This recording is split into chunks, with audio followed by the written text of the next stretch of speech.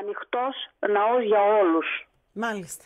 Και μη Έλληνες εννοείται. Έτσι. Και μη Έλληνες, σε ναι. καθολικούς και Βέβαια, για όλους βέβαια. ανοιχτός. Ε, Όπως και η Königsplatz είναι ένα λεγόμενο φόρουμ του, ε, φιλε, του ελληνισμού ή του φιλελληνισμού, ας το πούμε έτσι, όπου εκεί γίνονται ε, σήμερα, σήμερα ας πούμε τι γίνεται εκεί στην Königsplatz, ε, πάνω στα προπήλαια ε, που είναι το μεγαλύτερο ας πούμε μνημείο που έχει σχέση με την επανασταση αλλά αρχιτεκτονικά αρχ- αρχαία ελληνική τέχνη.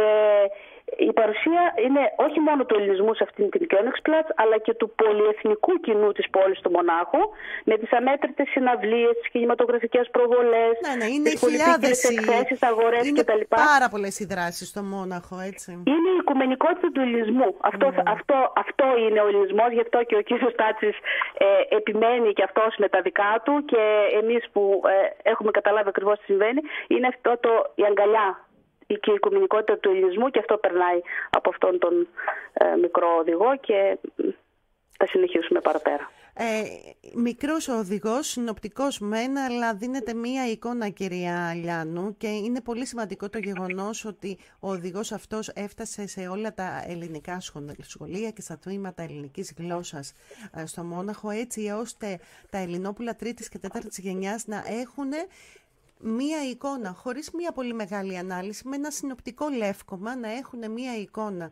Τι είναι αυτή η πόλη που μένουν και ποια είναι αυτά τα νεοελληνικά ζωντανά στοιχεία στην, ε, στην πόλη, στην Αθήνα του Ίσαρ. Έτσι. Ναι. Και ένας άλλος λόγος που έγινε αυτός ο οδηγός και θα συνεχίσουμε τώρα να κάνουμε διάφορα, ελπίζω να είμαστε καλά από υγεία, ε, είναι η ταυτότητα του ελληνισμού στο Μόναχο. Ναι. Δηλαδή είμαστε εδώ, παίρνουμε αλλά και δίνουμε. Σωστά.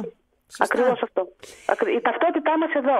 Ε, και εντάξει, θεωρείται βέβαια ε, ε, η ελληνική κοινότητα, οι Έλληνες του Μονάχου, ε, είναι η κοινότητα αυτή που δεν δημιουργεί ποτέ κανένα πρόβλημα στην πόλη και μας αγαπούν ναι. και οι δήμαρχοι και όλα αυτά. Πολύ ωραία. Κυρία Αλιάνου, θα μας δοθεί η ευκαιρία λοιπόν να μιλήσουμε και στο μέλλον όταν ε, α, δημιουργήσετε το νέο σας έργο, το νέο λεύκομα. Σας στέλνω πολλές ευχές. Σας είστε καλά. ευχαριστώ θερμά για την παρουσία σας εδώ και που μας δώσατε έτσι μία εικόνα από την Αθήνα του Ίσαρ, από την ελληνική πόλη ε, που λέγεται Μόναχο. Να είστε καλά. Ευχαριστώ που θα έχουμε τη δυνατότητα, κυρία Λιάνου, να σας γνωρίσουμε λοιπόν καλύτερα ε, και να μας πείτε και για αυτό το συνοπτικό λεύκομα που μου δημιουργήσατε, το οποίο πραγματικά έχει πολύ μεγάλο ενδιαφέρον. Μια όμως και μου είπατε Μαρία Λιάνου και όχι Λιανού, από πού κατάγεστε και πώς βρεθήκατε στη Γερμανία; Κατάγομαι από τη Θεσσαλία, από τα Τρίκαλα, ε, σπούδασα στην Αθήνα και μετά τις σπουδές μου ήρθα ε, στο Μόναχο για να κάνω μεταπτυχιακές σπουδές. Είμαι δηλαδή μια φοιτητη... ήμουνα μια φοιτητική μετανάστρια το 1985. Μάλιστα, τη δεκαετία, τη δεκαετία του 80. Μάλιστα. Ναι. Ε, μία δεκαετία που ήταν πάρα πολλοί οι Έλληνες ε, μετανάστες ε, στη Γερμανία. Κατά βάση εκείνη Ναι. την περίοδο εργάτες και μετά φοιτητές όπως και εσείς, έτσι. Και πάρα πολλοί φοιτητές. Ναι, Πάρα εκείνη την πολλοί εποχή φοιτητές, είχε ναι. πάρα πολλούς φοιτητές. Ναι. Μάλιστα. Και πώς και παραμείνατε, γιατί φαντάζομαι ότι ο στόχος δεν θα ήταν να παραμείνετε ε, στο, στη Γερμανία, αλλά να επιστρέψετε στην πατρίδα ή κάνω λάθος; Ναι, ε, δεν κάνετε λάθος. Ε, εντάξει, ο κάθε ένας που φεύγει από τη χώρα του έχει στο μυαλό του να επιστρέψει. Αλλά τελικά ήρθαμε για τρία χρόνια με το σύζυγό μου ε, για να κάνουμε μεταπτυχιακά και οι δύο. Αλλά τελικά παραμείναμε εδώ γιατί βρήκαμε αντίστοιχες εργασίες και μας κράτησε το Μόναχο, ε, το οποίο όμως Μόναχο είναι μια ελληνική πόλη για μένα. Μία ελληνική πόλη, τι ωραία που το θέσατε. Ε, διάβαζα μάλιστα πρόσφατα, κυρία Λιάνου, και πάλι στον ε, δορυφόρο του Μονάχου, στην ιστοσελίδα του Κώστα Τάτσι, ότι είναι πάρα πολλοί οι Έλληνες ε, στο Μόναχο, που πλέον ε, θεωρείται, σύμφωνα τουλάχιστον έτσι ε, με τις τελευταίες ε, στατιστικές που έχουν γίνει, θεωρείται η μεγαλύτερη ελληνική πόλη εκτός Ελλάδας στην Ευρώπη.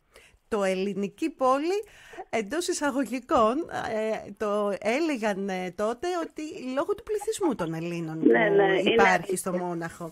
Εσείς όμως όταν λέτε ελληνική πόλη το Μόναχο δεν εννοείται μόνο τον ε, πληθυσμό, έτσι δεν είναι; Αφορά φυσικά το, τα πολιτιστικά της και την ιστορία της σε σχέση με την, με την Ελλάδα, δηλαδή τις Έλληνο-Βαβαρικές σχέσεις. Μάλιστα.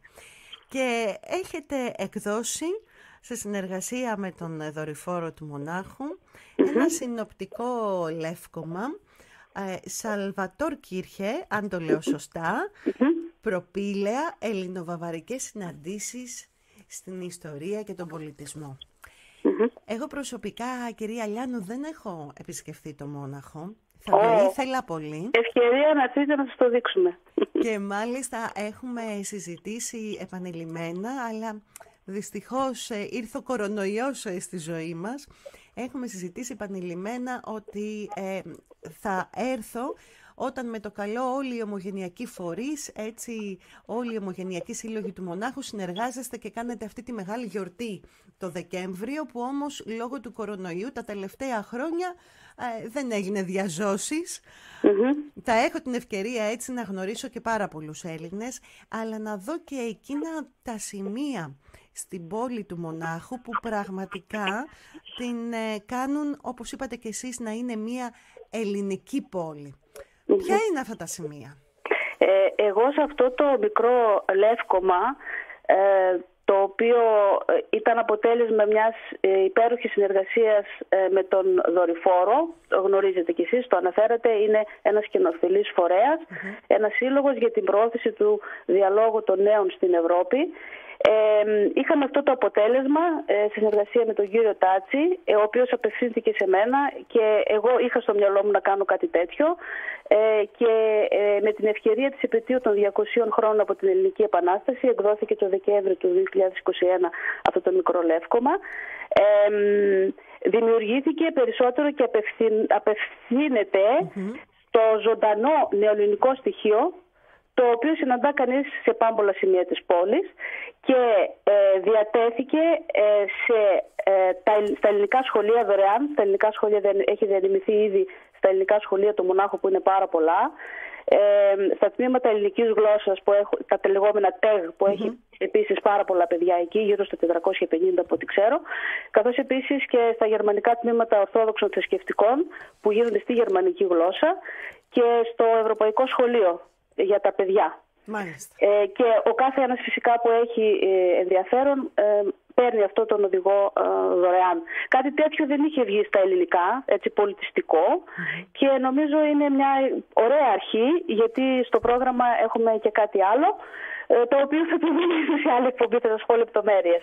Μια πολύ μεγαλύτερη έκδοση, πολύ πιο πλούσια από αυτή.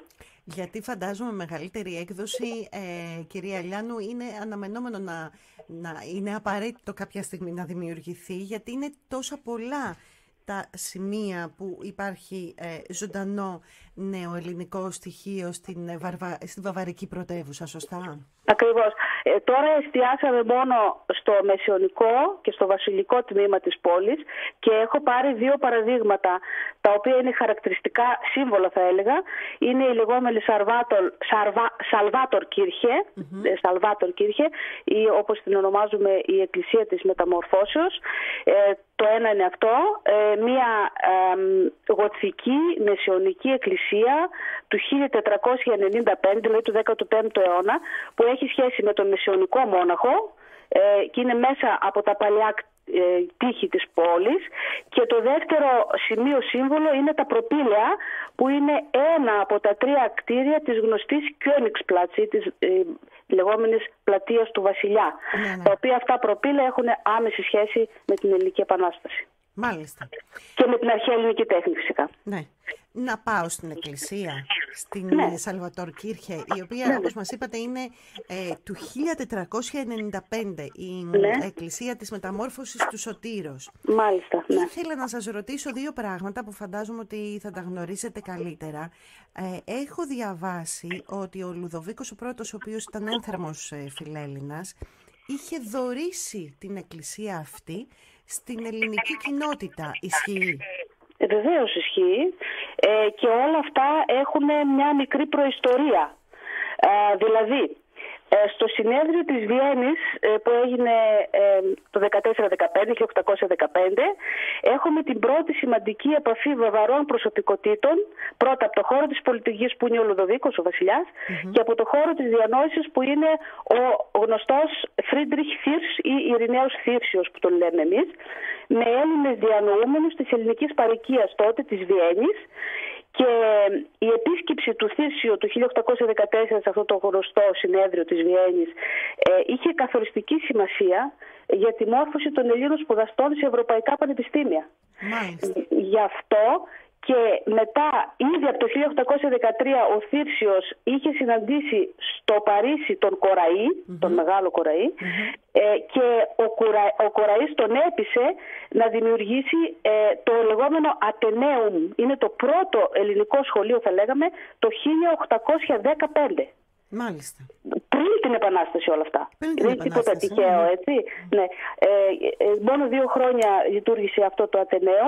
Είναι, ήταν ένα είδος οικοτροφείου για νεαρούς Έλληνες που σκοπό είχε την προετοιμασία Ελλήνων σπουδαστών στα γερμανικά πανεπιστήμια. Σκεφτείτε, 1815. Ε, τώρα, ε, επειδή αυτό το Ατενέουμ ε, ε, αργότερα δημιουργείται ένα το λεγόμενο ελληνικό Λύκειο του Μονάχου, συγκεκριμένα το 1825, πάλι πριν, ε, στη διάρκεια της Επανάστασης, αλλά πριν έρθει ακόμα ο, ο, Όθωνας στην ελλαδα το 1825, πριν γίνει ε, το ελληνικό κράτος ιδρυθεί ε, και αυτό το σχολείο έχει σημασία, ε, λειτουργεί στην Στράση νούμερο 8. Είναι δίπλα στην Κιόνιξπλατ, δίπλα κοντά στα προπήλαια, πολύ κοντά, 200 ε, μέτρα. Κοντά. Μια ελληνική γειτονιά δηλαδή ουσιαστικά. Ναι, ναι, από τη μια μεριά έχουμε το αρχαιοελληνικό αυτό σκηνικό της Κιόνιξπλατ, το πρώτο σχολείο είναι εκεί δίπλα, αλλά η καρδιά των νεαρών Ελλήνων σπουδαστών χτυπά στο ναό του Σωτήρους γιατί οι Έλληνες σπουδαστές, που πολλοί από αυτούς ήταν παιδιά αγωνιστών, που ερχόντουσαν με υποτροφίες από τον Λουδοβίκο, ε, ε, ήταν ε, χριστιανοί Ορθόδοξοι και φυσικά ε, ο βασιλιάς πάλι, επειδή ήταν πραγματικά φιλέλληνας και γνώριζε ιδιαίτερα όλα αυτά, ε, τι κάνει, Σύμφωνα με την εφημερίδα Augsburg Zeitung του 1828, διαβάζω ένα, ένα μικρό ε, τσιτάτο από την εφημερίδα, ο άκρος φιλελληνισμός του Λουδοβίκου υπερίσχυσε των προλήψεων και των φόβων του, κλείνει το τσιτάτ, ε, διότι το να μετατραπεί ένας καθολικός ναός σε ορθόδοξο στην καρδιά της ιστορικής πρωτεύουσας της Βαβαρίας, αυτό γίνεται το 1828, με νομοθετική, ηθική και οικονομική στήριξη του ίδιου του βασιλιά, ήταν από τις πιο ηχηρές παραχωρήσεις αλλά και πολιτικές ακροβασίες ενός δυτικού ηγεμόνα, ο οποίος, ας μην ξεχνάμε, ήταν ένας βαθύτατα αφοσιωμένος καθολικός. Δηλαδή δεν είναι τίποτα αυτονόητο. Όχι, όχι, έχετε απόλυτο δίκιο.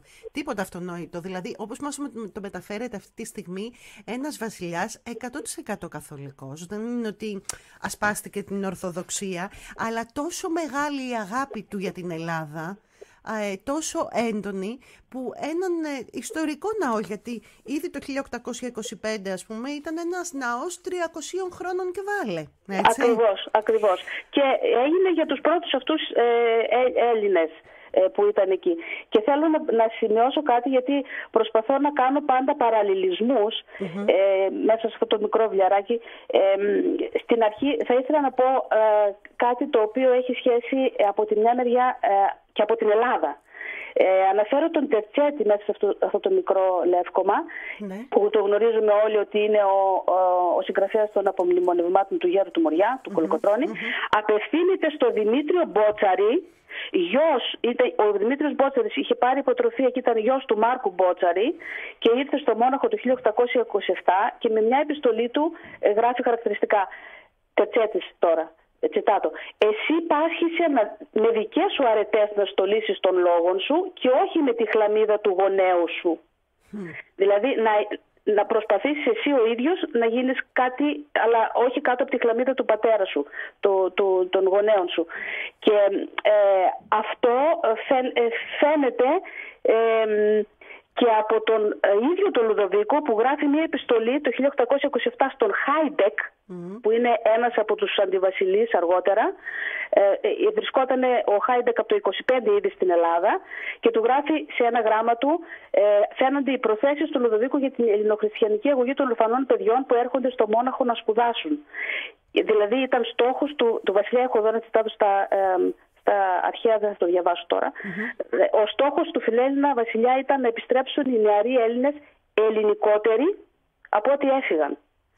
Δηλαδή τι βλέπουμε εδώ, βλέπουμε από τη μια μεριά λάτρευε την αρχαία Ελλάδα, είχε ένα όνειρο, έφτιαξε τα προπήλαια ε, με βάση την ε, αρχαιοελληνική αρχιτεκτονική με τον ε, αρχιτέκτονά του τον κλεντσε Αυτό είναι το ένα. Ε, το δεύτερο όμως ασχολούνταν και με την Ελλάδα της εποχής του, του τώρα. Βέβαια, δηλαδή, βέβαια. ακριβώς. Και αυτό πάλι φαίνεται ε, και τώρα αναφέρομαι μόνο φυσικά στο 19ο μέχρι τώρα και όχι αργότερα. Ε, και αυτό φαίνεται ε, πάρα πολύ καλά. Ε, ξέρουμε ότι έδωσε πάρα πολλά χρήματα για τον αγώνα και λοιπά ναι, και όλα αυτά. Ναι. Αλλά Δεν ήταν δηλαδή μόνο λάτρης. ε, ναι. ήταν ε, πολύ σπουδαίο γιατί χαρακτηριστικό αυτό που είπατε ότι να γυρίσει ας πούμε ελληνικότερος ακόμα μετά τις σπουδές του. Δεν τον ενδιέφερε ουσιαστικά το να δημιουργήσει ένα πανεπιστήμιο, ένα σχολείο για τους Έλληνες που σπούδαζαν στο Μόναχο με στόχο να τους αφομοιώσει, αλλά το αντίθετο, έτσι, να επιστρέψουν στην Ελλάδα και να είναι σπουδαγμένοι, μορφωμένοι, να εχουν αγαπήσει ακόμα περισσότερο την πατρίδα τους. Ακριβώς. Ενώ στον 20ο αιώνα, δεν, θα, δεν αναφέρομαι σε αυτό, το, σε αυτό το λεύκομα, αλλά στο άλλο μεγαλύτερο βιβλίο αναφέρομαι, ε, στο λεύκομα αυτό αναφέρομαι στο 19ο βασικά, με τα δύο αυτά χαρακτηριστικά παραδείγματα και λίγο στο σήμερα, ε, αρκετά άλλα σαν σύμβολα τι συμβαίνει σήμερα σε αυτά τα δύο πάλι χαρακτηριστικά μνημεία. Αλλά μετά στο, στο άλλο βιβλίο θα αναφερθώ και στο 10 και στον 20ο και λίγο στον 21ο εκεί φαίνεται ένα είδος προπαγάνδας. Θα το φαίνεται μετά πολύ καλά ας πούμε δεν θα το πω τώρα τίποτα άλλο. Στις αρχές του 20ου και μέσα του 20ου έχουμε μετά μια, ένα είδος προπαγάνδας, θα λέγαμε. Ενώ τότε υπήρχε η έτσι, ιδανική αυτή αγάπη για την Ελλάδα, παρόλο που ο Ζαχαρίας Παπαντονίου, ο συγγραφέας, ο γνωστός μας ναι, ναι, Παπαντονίου, ναι. έγραψε ένα βιβλίο με τίτλο «Όθων», ε, δεν ξέρω αν έχω χρόνο να διαβάσω ένα μικρό τσιτάτο, αλλά θα Βεβαίως, μόνο... όχι, έχετε Α, χρόνο. Ναι, έχετε χρόνο, ωραία. Θα διαβάζω λίγο το τσιτάτο το, του, του Παπαντονίου για να δείτε ε, κάτι για τον Βασιλιά Λουδοβίκο. Λέει ο Παπαντονίου, οι Έλληνες γνωρίζουν καλά τον Βασιλέα που αγνοούσε την αριθμητική, τον Λουδοβίκο Α της βαβαριας Ήταν ο παράφορος φίλος μας. Είναι αλήθεια πως μας είδε μέσα από τους αρχαίους. Οι άνθρωποι όμως αυτοί που αγαπούν με την αγάπη του φιλότεχνου ή του φιλαναγνώστη έχουν φλογερά πάθη. Λίβας ήταν και ο φιλελληνισμός του Λουδοβίκου. Τέτοιους φίλους ήθελε τότε η Ελλάς. Έτσι, γράφει το βιβλίο του αυτό αρχές του 20ου, ε, ε, κάπου 1910 νομίζω, ναι, ο, ναι. Παντονίου. Αλλά και τώρα και πάντα αυτοί οι τρελοί μόνο είναι φίλοι. Ε, οι άλλοι λέγονται διπλωμάτε.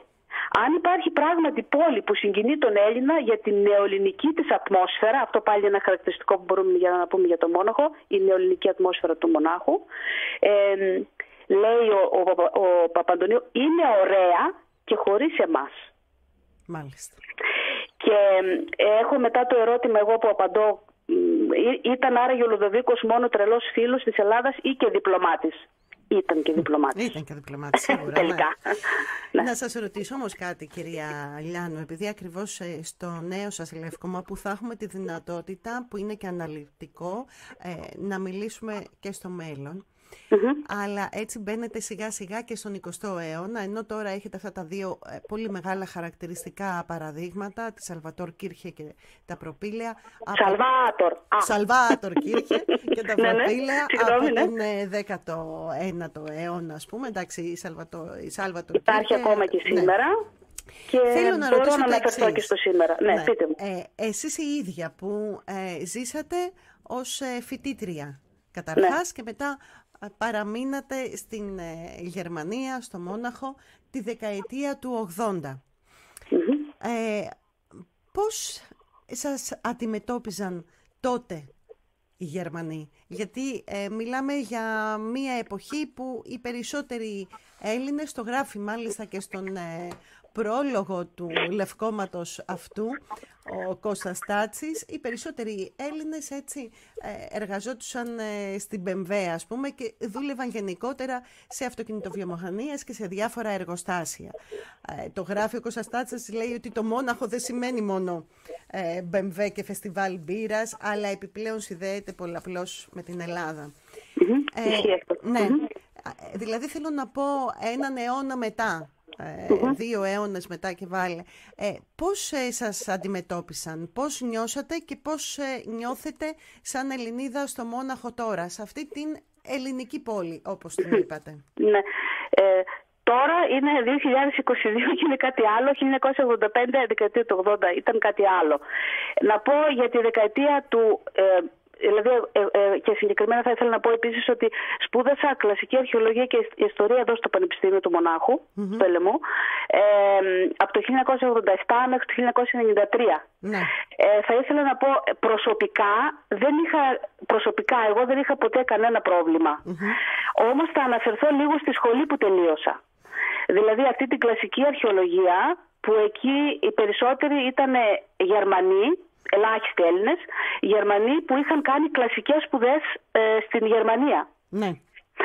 Άρα λοιπόν αν μιλήσουμε για τον 19ο αιώνα και όλα αυτά τα νεοκλασικιστικά κτίρια και την Königsplatz και όλα αυτά υπήρχε ένα ε, ελιτίστικο γιατί είχαν μεγάλη γνώση ας πούμε της αρχαίας Ελλάδας και όλα αυτά και διαχωρίζανε τον αρχαίο, σε έβλεπαν οι περισσότεροι και σαν αρχαίο Έλληνα μόνο Εμένα μπορεί να με βλέπανε και σαν μια Ελληνίδα που τους τίμιζα κάποια Αφροδίτη, δεν ξέρω τι, mm-hmm. Άρτεμι και δεν ξέρω τι.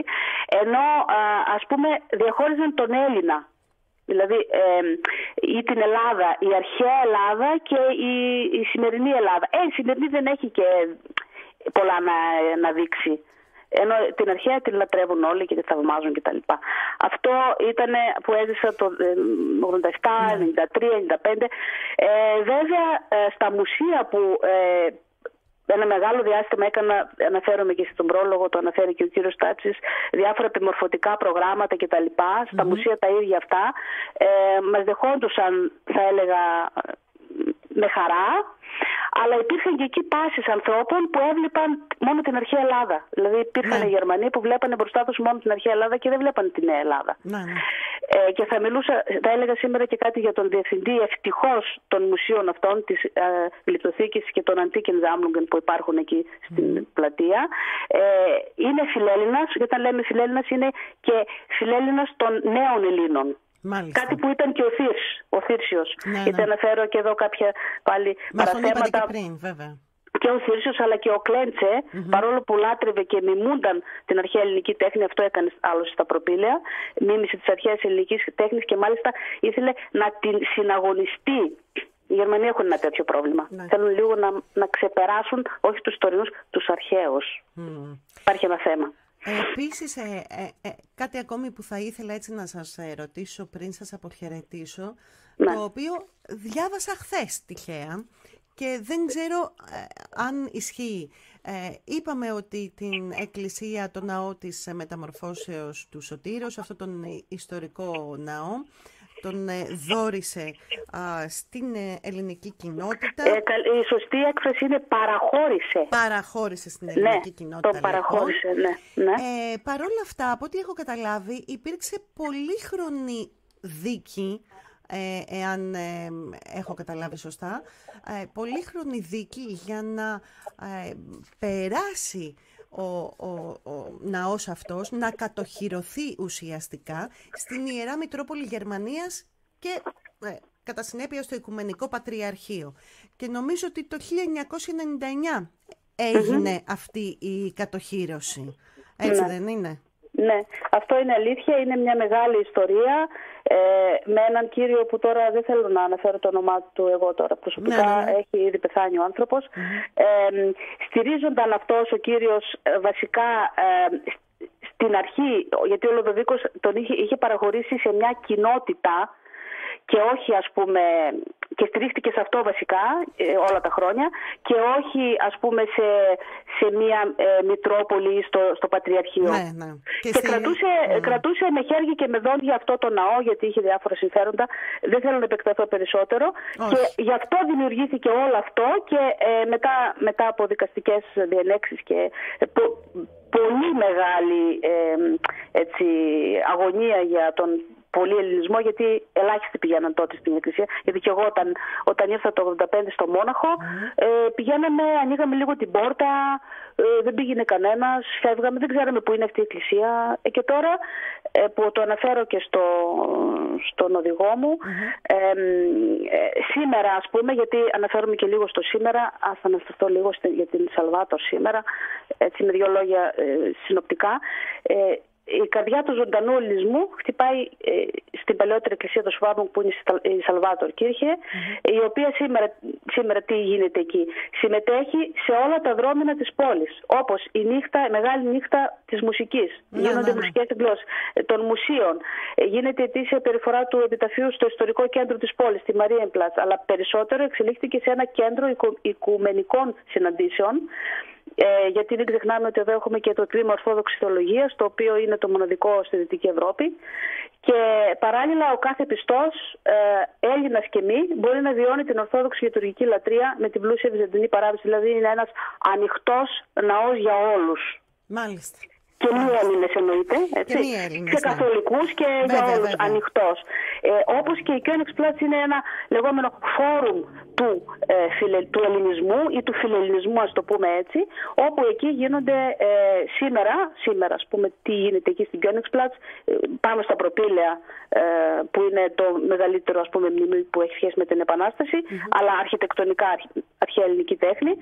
Ε, η παρουσία είναι όχι μόνο του ελληνισμού σε αυτήν την Königsplatz, αλλά και του πολυεθνικού κοινού της πόλης του Μονάχου, με τις αμέτρητες συναυλίες, τις κινηματογραφικές προβολές, ναι, ναι, είναι χιλιάδες εκθέσεις, αγορές κτλ. Πάρα πολλές οι δράσεις στο Μόναχο, έτσι. Είναι η οικουμενικότητα του ελληνισμού. Αυτό, ναι. αυτό, αυτό είναι ο ελληνισμός, γι' αυτό και ο κύριος Τάτσης ε, επιμένει και αυτός με τα δικά του και εμείς που ε, έχουμε καταλάβει ακριβώς τι συμβαίνει, είναι αυτό το, η αγκαλιά και η οικουμενικότητα του ελληνισμού και αυτό περνάει από αυτόν τον ε, μικρό οδηγό και θα συνεχίσουμε παραπέρα. Ε, μικρός ο οδηγός, συνοπτικός μεν, αλλά δίνεται μία εικόνα κυρία Λιάνου και είναι πολύ σημαντικό το γεγονός ότι ο οδηγός αυτός έφτασε σε όλα τα ελληνικά σχολεία και στα τμήματα ελληνικής γλώσσας ε, στο Μόναχο έτσι ώστε τα ελληνόπουλα τρίτης και τέταρτης γενιάς να έχουν μία εικόνα, χωρίς μία πολύ μεγάλη ανάλυση, με ένα συνοπτικό λεύκομα να έχουν μία εικόνα.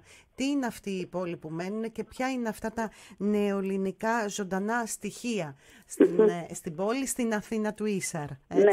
Και ένας άλλος λόγος που έγινε αυτός ο οδηγός και θα συνεχίσουμε τώρα να κάνουμε διάφορα, ελπίζω να είμαστε καλά από υγεία, ε, είναι η ταυτότητα του ελληνισμού στο Μόναχο. Ναι. Δηλαδή είμαστε εδώ, παίρνουμε αλλά και δίνουμε. Σωστά. Ακριβώς αυτό. Η ταυτότητά μας εδώ. Ε, και εντάξει, θεωρείται βέβαια ε, ε, η ελληνική κοινότητα, οι Έλληνες του Μονάχου, ε, είναι η κοινότητα αυτή που δεν δημιουργεί ποτέ κανένα πρόβλημα στην πόλη και μας αγαπούν ναι. και οι δήμαρχοι και όλα αυτά. Πολύ ωραία. Κυρία Αλιάνου, θα μας δοθεί η ευκαιρία λοιπόν να μιλήσουμε και στο μέλλον όταν ε, δημιουργήσετε το νέο σας έργο, το νέο Λεύκομα. Σας στέλνω πολλές ευχές. Σας ευχαριστώ θερμά για την παρουσία σας εδώ και που μας δώσατε έτσι μία εικόνα από την Αθήνα του Ίσαρ, από την ελληνική πόλη ε, που λέγεται Μόναχο. Να είστε καλά. Ευχαριστώ που θα έχουμε τη δυνατότητα, κυρία Λιάνου, να σας γνωρίσουμε λοιπόν καλύτερα και να μας πείτε και για αυτό το συνοπτικό λεύκομα που μου δημιουργήσατε, το οποίο πραγματικά έχει πολύ μεγάλο ενδιαφέρον. Μια όμως και μου είπατε Μαρία Λιάνου και όχι Λιανού, από πού κατάγεστε και πώς βρεθήκατε στη Γερμανία; Κατάγομαι από τη Θεσσαλία, από τα Τρίκαλα, ε, σπούδασα στην Αθήνα και μετά τις σπουδές μου ήρθα ε, στο Μόναχο για να κάνω μεταπτυχιακέ σπουδές. Είμαι δηλαδή μια ήμουνα μια φοιτητική μετανάστρια το 1985. Μάλιστα, τη δεκαετία, τη δεκαετία του 80. Μάλιστα. Ναι. Ε, μία δεκαετία που ήταν πάρα πολλοί οι Έλληνες ε, μετανάστες ε, στη Γερμανία. Κατά βάση εκείνη ναι. την περίοδο εργάτες και μετά φοιτητές όπως και εσείς, έτσι. Και πάρα πολλοί φοιτητές, ναι. Πάρα Εκείνη την πολλοί εποχή φοιτητές, είχε ναι. πάρα πολλούς φοιτητές. Ναι. Μάλιστα. Και πώς και παραμείνατε, γιατί φαντάζομαι ότι ο στόχος δεν θα ήταν να παραμείνετε ε, στο, στη Γερμανία, αλλά να επιστρέψετε στην πατρίδα ή κάνω λάθος; Ναι, ε, δεν κάνετε λάθος. Ε, εντάξει, ο κάθε ένας που φεύγει από τη χώρα του έχει στο μυαλό του να επιστρέψει. Αλλά τελικά ήρθαμε για τρία χρόνια με τον σύζυγό μου ε, για να κάνουμε τα πτυχιακά και οι δύο. Αλλά τελικά παραμείναμε εδώ γιατί βρήκαμε αντίστοιχες εργασίες και